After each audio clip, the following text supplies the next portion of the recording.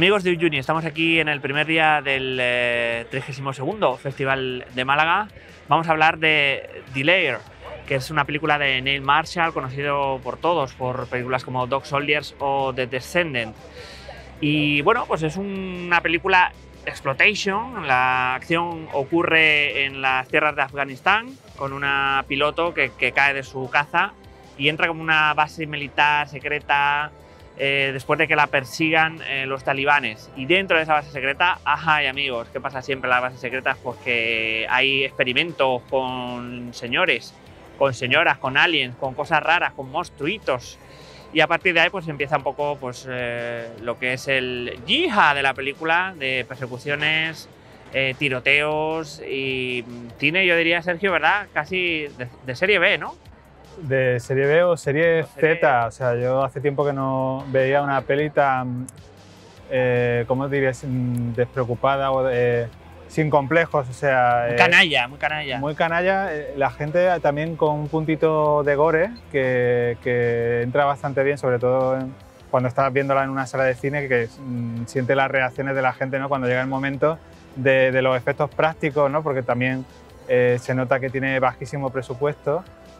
Y intentan, bueno, es como un tipo de cine que, ya no se hace, ¿no? De, esta época del videoclub. De...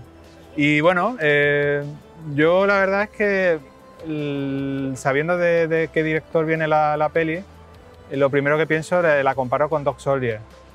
Yo recuerdo cuando la vi en la época en la que todavía estaban vigentes los videoclubs y la verdad es que me sorprendió porque yo notaba que- que era una peli muy, muy básica, muy, muy de bajo presupuesto, pero que conseguía cosas muy interesantes. O sea, me, me tuvo pegado a la pantalla. Ah, podríamos decir que es un director disfrutón, que todo el rato Sí, está ¿eh? disfrutando en los creo que- desmembramientos, en la acción, en, en el yihad, ¿no? El Sí. Viva la Virgen, ¿no?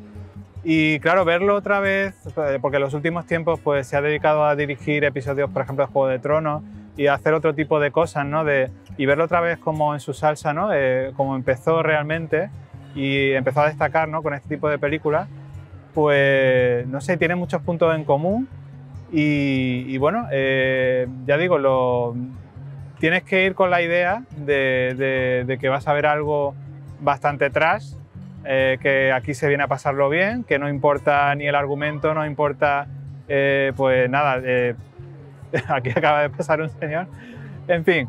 Eh, los efectos prácticos, pues como dice, hay como unos seres por ahí pululando, ¿no? En, en la guarida, ¿no? Porque de ahí viene Son el como, título. como, como una- un cruce, ¿no? De humano y alien que experimentaron los yo, rusos, ¿no? yo los veo más como parecen masillas de los Power Rangers, o sea, para que nos hagamos una idea. Se una, nota- peque- una- una especie de Venom low cost, Venom de Mercadona, Venom Sí. mal. Eso sí, a mí lo que no puedo destacar es el tema de las interpretaciones. A mí, incluso plano, ¿no? sabiendo en qué género, en qué tipo de película nos Es que movemos, son todos arquetipos. pero sea, sobre todo la protagonista no me convence nada. O sea, es como, es que es muy mala actriz, lo siento mucho. Pero guapita, ¿no? O sea, es como. Es- Al menos.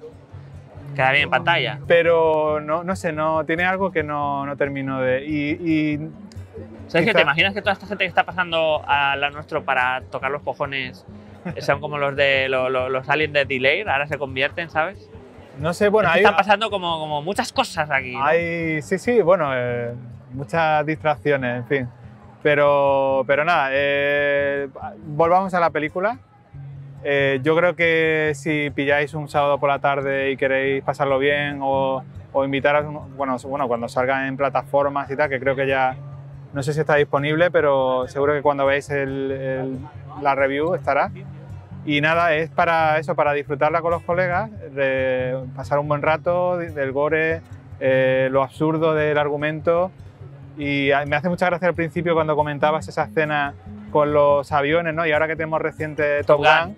Es como hay un salto tan abismal. eh, Top o sea, mal. Yo lo veía y bueno, y toda la parte de- del búnker, ¿no? Este ruso, ¿no? No No, sé, pero ti- ti- tiene como, como este. se nota que está grabado en un parking, Sí, sí. o sea... Pero que tiene como esta, esta, este carisma, ¿no? De, de- de- lo barato. Pero no es lo mismo, es como Ya, ya, claro. porque la, la peli de Soldier no lo buscaba, o sea, sino Claro. dices, no tengo medios, ocurría, claro. voy a hacer lo que pueda, ¿no? Y aquí parece que es al contrario, pudiendo tener medios, dice, vamos a hacerlo cutre, vamos a hacer un, un greenhouse, ¿no?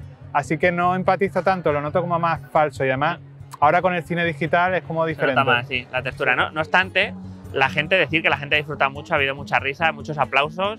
Una peli muy sitges, muy de, ¡guau! de hooligan, de cine exploitation, de terror los, con los créditos monstruos. son súper ochenteros, o sea, fondo negro Sí. con, con el nombre está, de los actores claro. y al final era muy equipo A, o sea, era re- te cogía ¿no? un clip de cada, de cada cada uno. personaje durante la película Una muestra. y, y te lo congelaba y ponía el nombre de... Y era es todo como muy, muy así, ¿no? Muy, JK Johnson, así, Sí. ¿no? Ese, ese rollo. Bueno, amigos, Delay, eh, seguimos viendo películas. eh, estar atentos a Amantes de Uni. Iremos subiendo un vídeo aproximadamente cada día de cada una de las películas que vemos. Y recordar, suscribirse, like, comentar, todo eso nos ayuda muchísimo para que nos vea pues, más gente y lleguemos a más personas en el mundo mundial. Yo me tengo que suscribir, que no, no, no todavía, no, todavía vaya, no he suscrito. Habéis, habéis que visto. Bien que me lo hayas recordado. Este es el símbolo de la vida, de los tiempos, amigos. Nos vemos. Adiós.